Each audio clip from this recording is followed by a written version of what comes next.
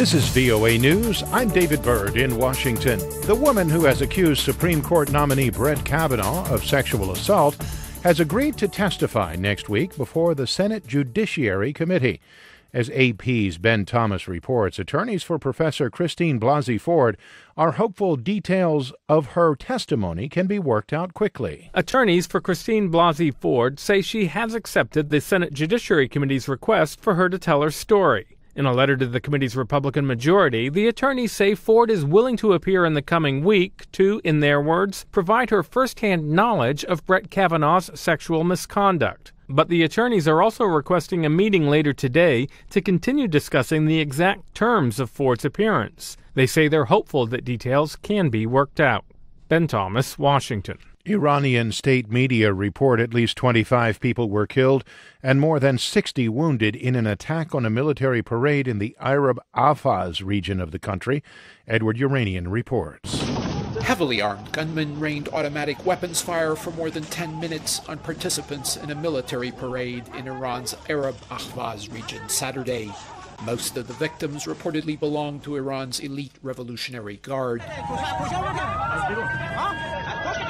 Iranian TV showed ambulances ferrying victims to nearby hospitals while survivors could be seen helping the injured. There are conflicting reports over who staged the attack, but both the Islamic State group and a group calling itself the Arab Struggle Movement for the Liberation of Ahvaz claimed responsibility. Iranian media reportedly has accused both Israel and Saudi Arabia of responsibility for the attack, but gave no direct evidence to support the claims. Edward Yeranian for VOA News, Cairo. For more on these stories, visit our website, voanews.com. This is VOA News.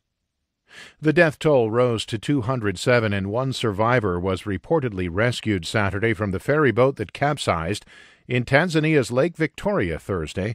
Tanzanian officials continued their search inside the overturned vessel for a third day as an investigation into the mishap got underway. Search teams spent the day pulling bodies from the MV Nyerere, which sank amid speculation that it was overcrowded. Four days of mourning began for victims. One man was pulled alive from the wreckage. News reports say the vessel's engineer was rescued near its engine. China's foreign ministry summoned the U.S. ambassador to China, Terry Branstad, Saturday to issue a harsh protest against U.S. sanctions imposed after Beijing bought Russian fighter jets and missiles. The move came hours after China canceled trade talks with the U.S.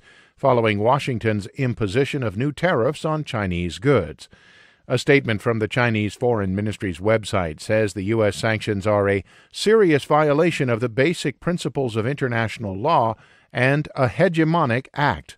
The U.S. imposed the sanctions Thursday after China bought Sukhoi fighter jets and surface to air missiles from Russia. The purchases violate a 20 2017 U.S. sanctions law designed to punish Russia for interfering in the 2016 presidential election.